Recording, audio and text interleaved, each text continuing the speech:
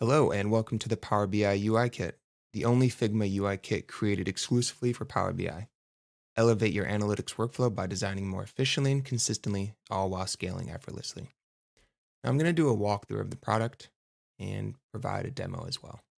Now, when you open the UI kit, you'll have a lot of documentation here to help getting you started. We have 24 expertly crafted examples in light and dark mode. We have design specific documentation things that are used in the UI kit. So color, typography, spacing and radius, and the icons used. These are Power BI specific components, so old and new slicers, and then other for things like legend.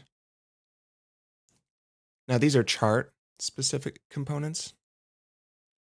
Now, a lot of these are native to Power BI, but some of these will require AppSource we wanted to include more than what was just default available for Power BI, just in case people wanted to add them into their prototypes. And these are the dashboard specific components.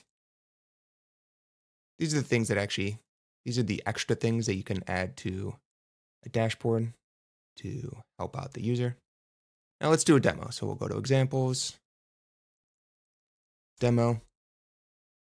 Now, there's a few different ways you can create and design prototypes using the UI kit. One way is to just drag and drop the different components and do the customization yourself and build a, build the dashboard that way. Another way is to just use the built-in dashboard component. Now, this component combines a lot of different components, and I've constructed in such a way that it helps you get up and running with a prototype even faster. So Let's talk about a use case. Let's say you need to prototype a Power BI dashboard for your client so that you can get feedback on it before actually building in Power BI. For this specific use case, you know, we want some sort of value over time.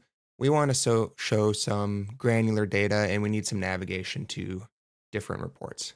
So we can do sidebar, which will help with the navigation to different reports. Get rid of the title here. You can just call this overview since this is just a sales overview. We can go into the header here, get rid of some of these. And we only, like I mentioned before, we only need two different charts. So we just need two vertical. For the top one, we just want a line chart over time. And we then want a table. So we built this entire prototype in about 30 seconds, where normally it would have taken an exorbitant amount of time.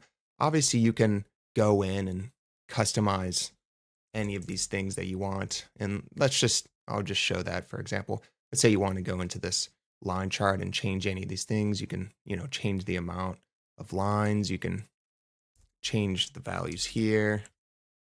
Really, any of these things can be changed. And then you can also just, you know, detach this uh, component and do whatever you want with it. It's not, you know, just linked to the component. So not only do we build it fast, but it actually looks like Power BI and the design is top notch as well. So the time and quality benefits scale across your team and organization. You can implement your own brand guidelines to the UI kit so that all of the designs look how you want them to.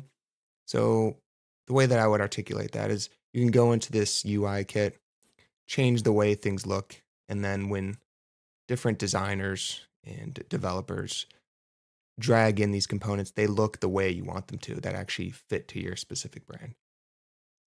And that's a difficult task, right? Making sure Power BI dashboards are consistent and on brand is, is a difficult thing. But this product aims to solve that problem and looks to improve quality at the same time.